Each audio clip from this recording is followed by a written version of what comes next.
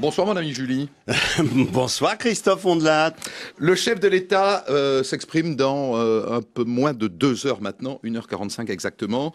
Euh, tout au long de la journée, le Premier ministre François Fillon a, a fait des interventions devant les parlementaires pour définir ce, qui, ce, que seront les cinq priorités de la fin du quinquennat. à charge donc maintenant pour Nicolas Sarkozy de les développer.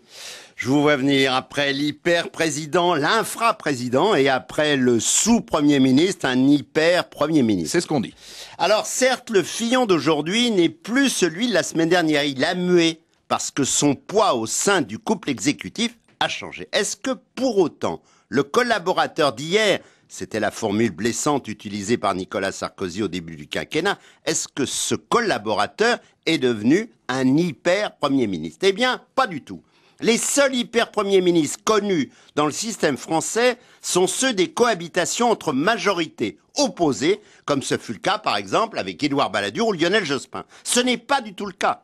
François Fillon retrouve simplement le périmètre d'un Premier ministre de la cinquième, modèle courant, disons, Laurent Fabius, celui qui disait lui c'est lui et moi c'est moi, et qui gouvernait avec un président qui fixait les lignes. Le changement, c'est que Nicolas Sarkozy et François Fillon et François Fillon avaient théorisé tous les deux l'extinction progressive de la fonction de Premier ministre au profit d'un hyper-président et l'un et l'autre se sont trompés. Et pourquoi ça n'a pas marché ou ça n'aurait pas marché l'hyper-présidence? Alors le remaniement en cours dresse un constat d'échec. La concentration à l'Élysée de tous les pouvoirs exécutifs comme expression du volontarisme politique est censée bousculer toutes les inerties ça n'a pas marché. Beaucoup de court-circuits dans le fonctionnement d'un des plus vieux États du monde, déstabilisation de nombreuses administrations, des réformes bâclées, jusqu'à créer de nouvelles paralysies. Alors, dans l'affaire du remaniement, Nicolas Sarkozy a subi la volonté de la majorité parlementaire, qui voulait